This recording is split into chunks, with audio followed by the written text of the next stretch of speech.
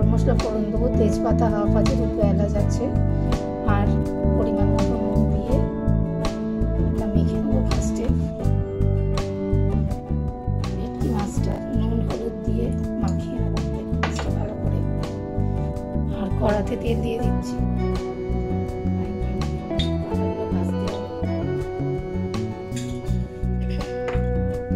এবার মাছের মধ্যে হলুদ দিয়ে দিচ্ছি।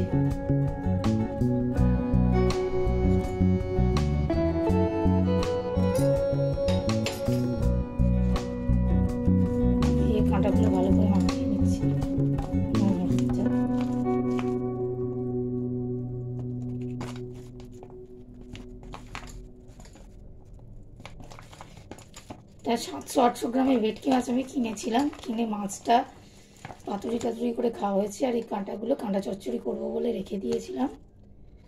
তো সেটাই আপনাদের দেখাচ্ছি। এবার মাছটা তেলটা গরম হয়ে গেছে। মাছটা ভাজতে দিয়ে দিচ্ছি।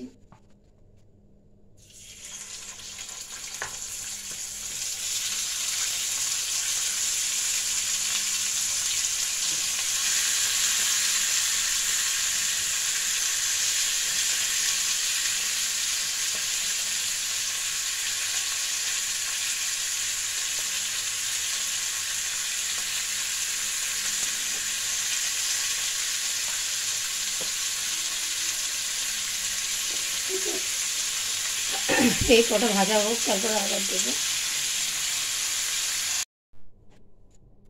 মাছগুলো সব ভাজা হয়ে গেছে কাঁটেগুলো মাছের।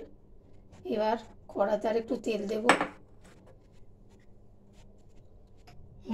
একটু তেল দিয়ে দিলাম, এটা রাইস ব্যান অয়েলে করছি। তেলটা একটু বেশি লাগবে কাটা চচ্চড়িতে। তেলটা গরম হয়ে গেছে। এর মধ্যে তেজপাতা হাফ আর দুটো এলাচ ফাটিয়ে দিয়ে দেবো।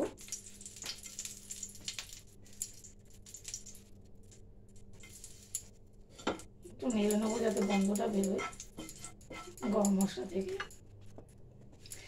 এবার দুটো পেঁয়াজ কেটে রেখেছিলাম ছোটো সাইজের সেটা দিয়ে দিচ্ছি।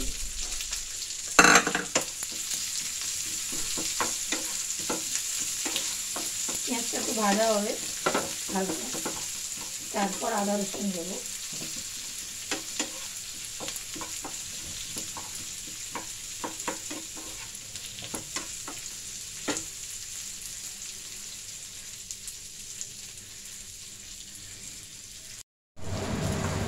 পেঁয়াজটা ভাজা হয়ে এসছে। গরম হয়ে গেছে পেঁয়াজটা, এবার আদা রসুনের পেস্টটা দিয়ে দেবো। এক টিস্পুনের মতো দিয়েছি আর হাফ দেবো বেশ টিস্পুন আদা আর রসুন বাটা। দিয়ে ভালো করে কষে নিচ্ছি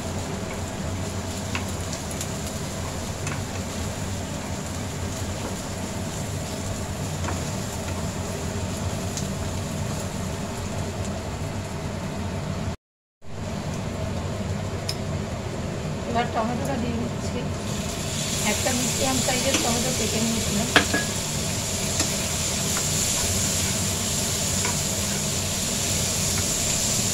মধ্যে একটু হলুদ দিয়ে দিচ্ছি। পরিমাণ মতো। একটু লঙ্কার গুঁড়ো দিয়ে দিচ্ছি। একটু ঝাল ঝাল হবে। চাইলে আপনি কাঁচা লঙ্কাও দিতে পারেন, বাটা।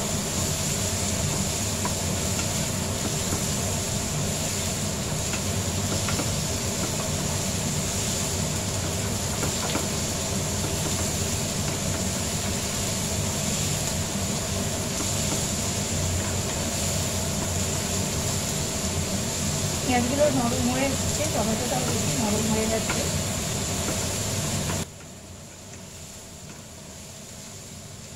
ফ্লেমে করছিলাম এবার বাকি মশলাগুলো দিয়ে দেবো জিরে গুঁড়ো এক টিস্পুন ধনে গুঁড়ো এক টিস্পুন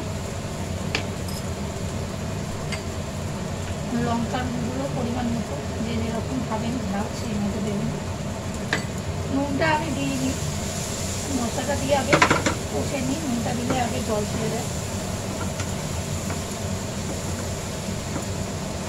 ভালো করে আগে মশলাটা কষে নিই।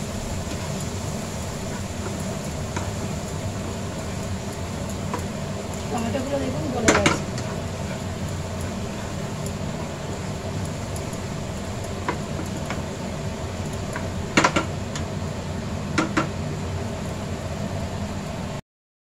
মশলাটা কষা হয়ে গেছে তেল বেরোচ্ছে দেখুন এবার নুনটা দেবো পরিমাণ মতো নুন দেবো একটু চিনি দেবো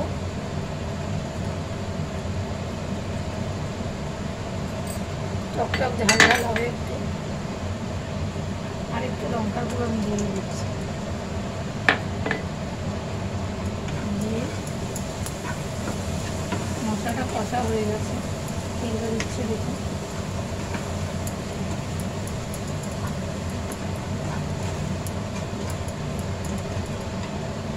এবার একটু জল দিয়ে দেবো অল্প ফ্লেমটা বাড়িয়ে হাই ফ্লেমে করে দিয়েছি। দিয়ে মশলাটা আরেকটু কষা হোক তারপর মাছগুলো ছেড়ে দেবো। জল দিলাম কেন কি নাহলে মশলাগুলো পুড়ে যাবে বলে একটু জল এসছে। এবার মাছগুলো আমি দিয়ে দিচ্ছি একটা।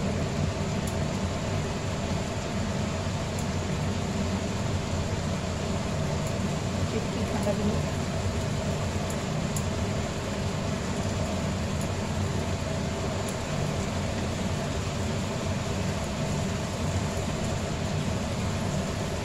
জল লাগলে পরিমাণ মতো জল দিয়ে দেবো এগুলো আগে দিয়ে দিই তারপর জলটা দেবো আর যদি লাগে দিয়ে ভালো করে মাখিয়ে নিই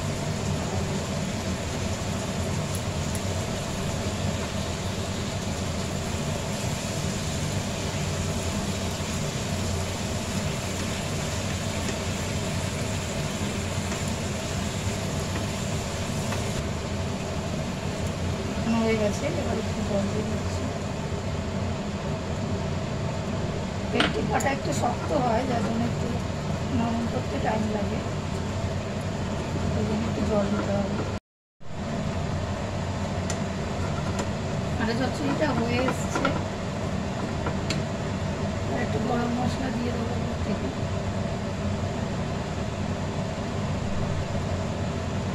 হাফ টিস্পুনের মতো দিয়ে একটু নেড়ে নিই তারপর দেবো একদম কষা কষা হবে। বেশি গ্রেভি হবে না। এবার ঘিটা দিয়ে দেবো। দিয়ে নেড়ে ছেড়ে নামিয়ে দেবো। অনেকে ধনে পাতা দিতে চায়। ধনে পাতাও দিতে পারে, আমি ধনে পাতা দিচ্ছি না।